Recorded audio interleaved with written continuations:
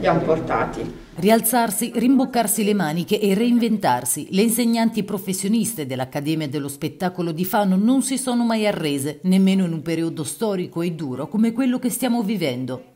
Infatti le scuole di danza sono state chiuse ancora una volta dal governo per limitare i contagi da Covid-19, ma dopo aver speso migliaia di euro in prodotti per sanificare e per garantire la sicurezza all'interno dei locali, sono rimaste senza aiuti o quantomeno non all'altezza delle spese sostenute e delle tante difficoltà che tutt'oggi stanno affrontando. Abbiamo cercato di eh, ripartire eh, a giugno e luglio con poche persone, quelle che si potevano e quelle che comunque eh, ci hanno un po' seguito co con le lezioni online che abbiamo fatto.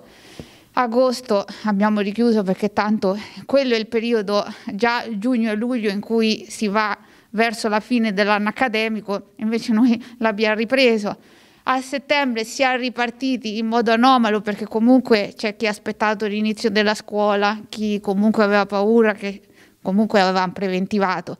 Quindi adesso siamo arrivati a ottobre che ci siamo ripresi un attimino e ci dicono di chiudere. Adesso perché per carità stanno richiudendo un po' tutto, quindi però come si va a riaprire? Cioè il 24 quando hanno detto che si riaprirà, si apre, come si apre? Noi ehm, andiamo incontro al periodo natalizio che già comunque la gente va in vacanze e tutto quanto, quindi si riaspetta cosa? Eh, febbraio?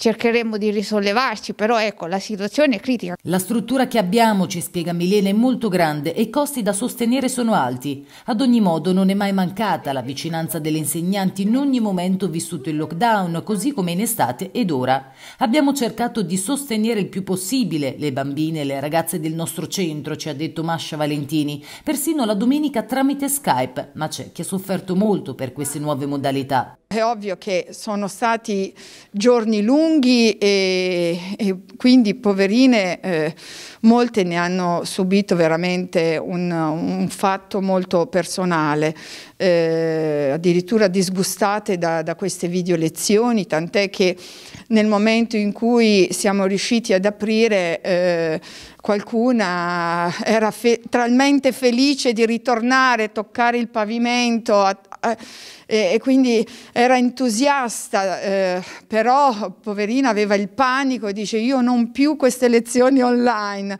Chi ne ha risentito di più, ci spiega l'insegnante di danza classica, sono state le bambine dagli 8 ai 10 anni. Quindi anche per sostenerle, alcune proprio si erano proprio perse perse e non si facevano proprio sentire perché proprio hanno realizzato un, veramente una cosa, un disagio psicologico molto grosso.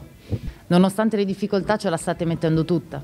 E ho fatto anche un corso io uh, di, di, Covid eh, quindi ho anche proprio un'autocertificazione proprio per, per, per, esercitare, per continuare anche a esercitare tutte le lezioni che abbiamo fatto fino, fino a che questa cosa insomma non avrà fine, speriamo il prima possibile.